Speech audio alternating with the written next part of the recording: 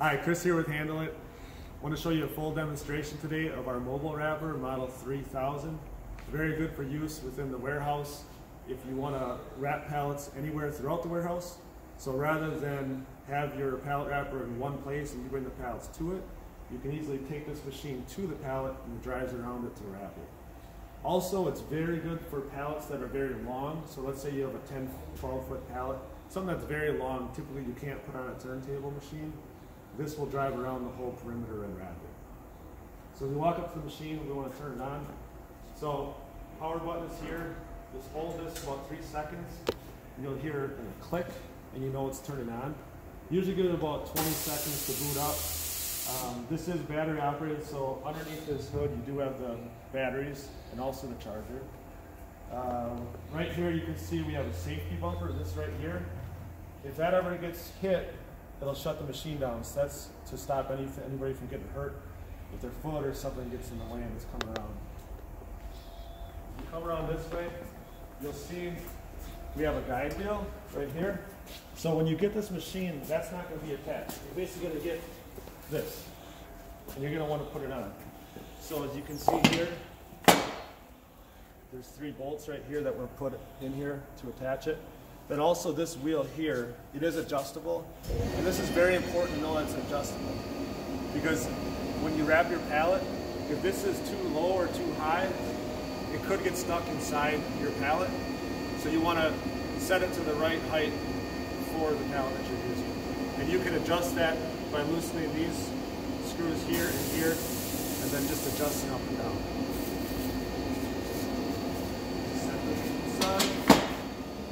Right here is your charging port. You can charge here. It tells you where the charge is at while you're charging.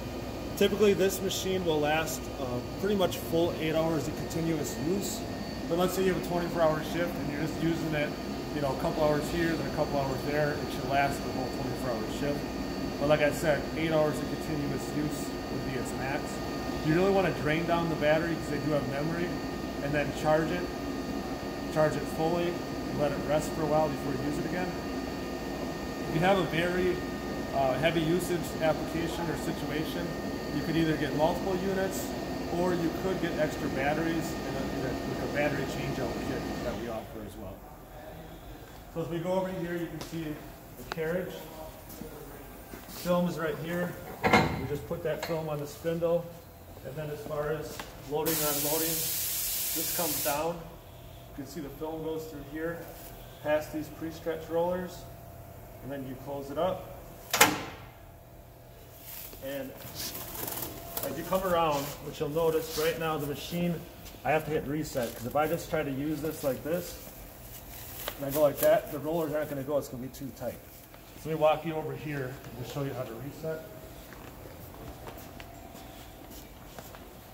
Notice says request for a reset procedure. Hold this in for a couple seconds.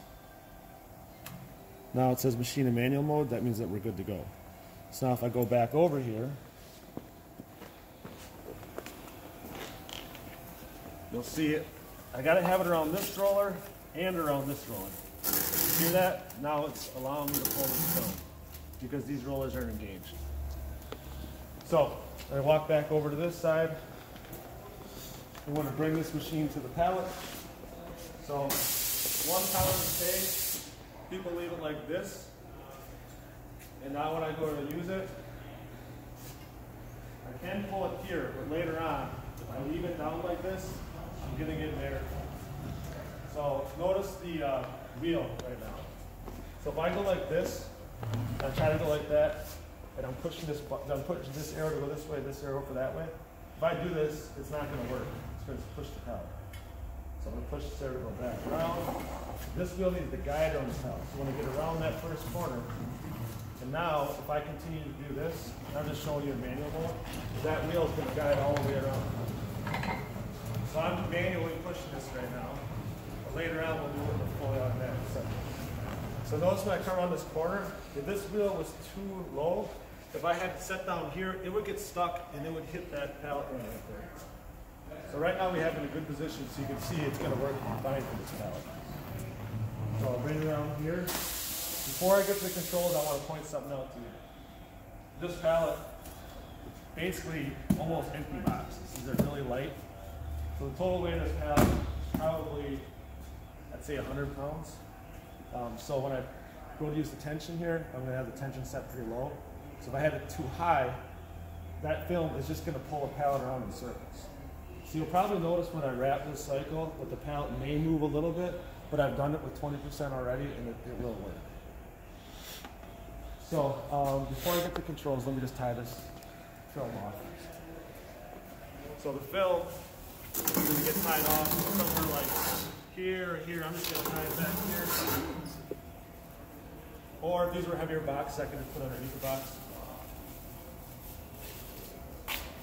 So that off so we're ready to go once I start it. So now we go to the controls. Um, this is the start button. Again, this is the reset. And then this is to turn the machine on. Emergency stop, just push that in. Make sure you pull it out before you're gonna start again, otherwise it's not gonna turn on.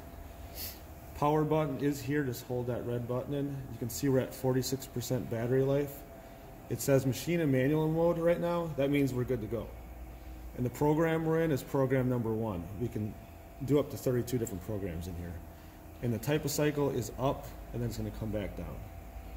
So if I go to the menu, a lot of these commands in here I'm not going to go through a lot because they're more in detail ones that you probably won't use, but you can always consult the manual if you want to see these other options. So like here, I'm not going to go through this stuff right now. These are different things you can do though, but it's usually not something that's necessary. I go back. Manual commands, if I wanted to raise this carriage up and down, if I hold that up and go up, down and go down. So I go down all the way, back, I go here, this is just going to give me information on pallets that I'm wrapping. Um, if I go to machine data, ask for a passcode, it's 919. So it's 919 and enter right here, this arrow. Click OK.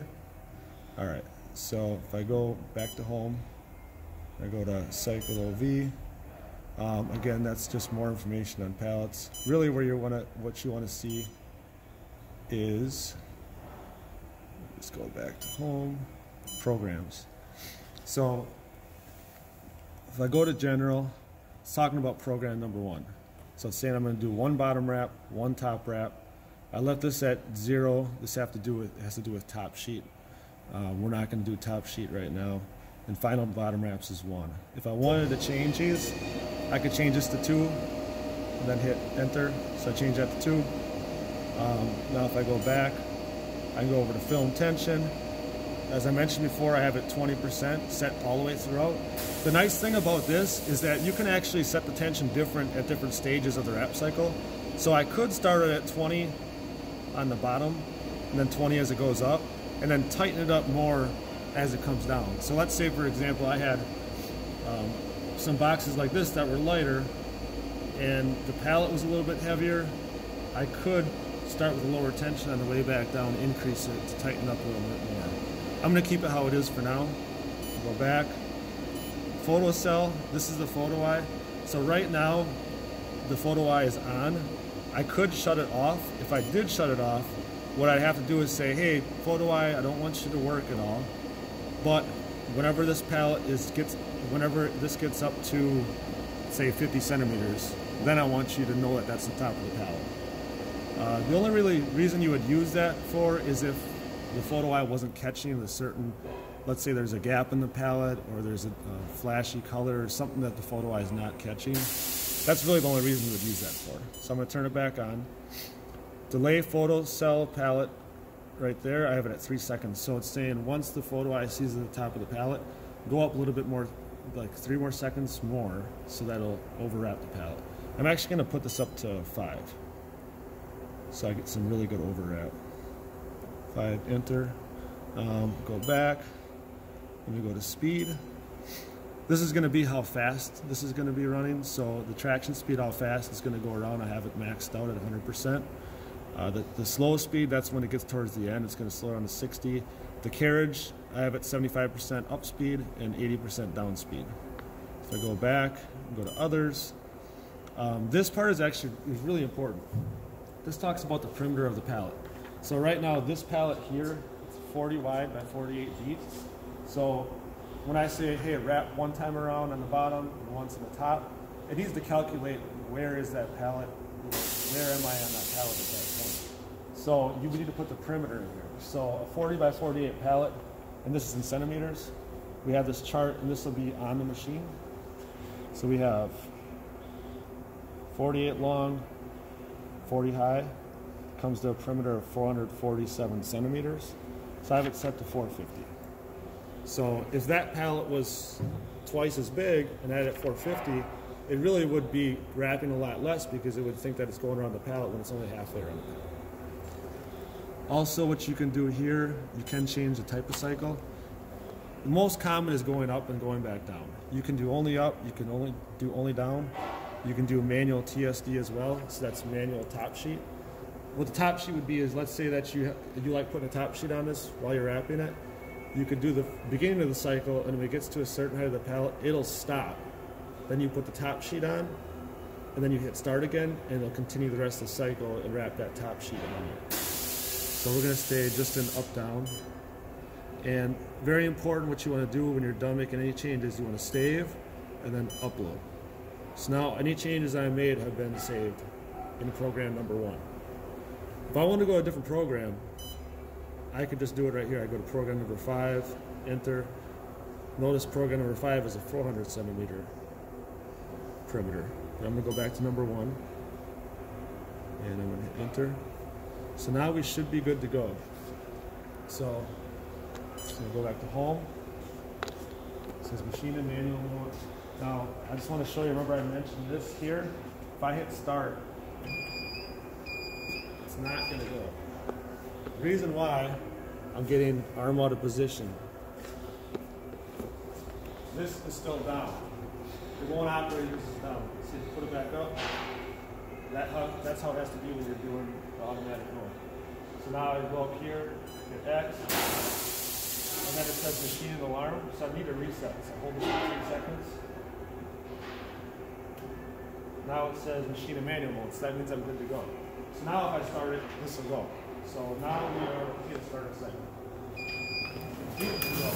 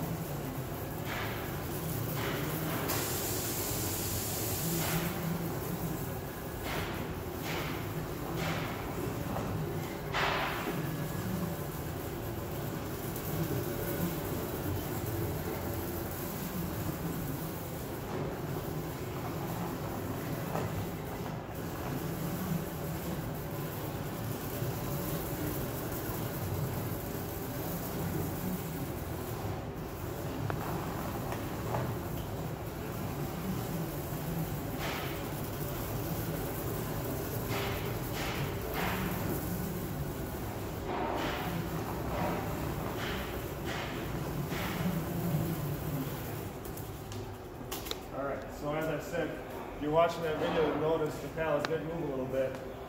Again, these are, it's a very light pallet. It's probably about 100 pounds, but it still was able to wrap the whole thing. So all you do is here, come here, cut it off. You can tie it off, or you just do that. Depends how you want to do it. And now you're ready to go on to the next pallet. So let's say we have pallet someone else.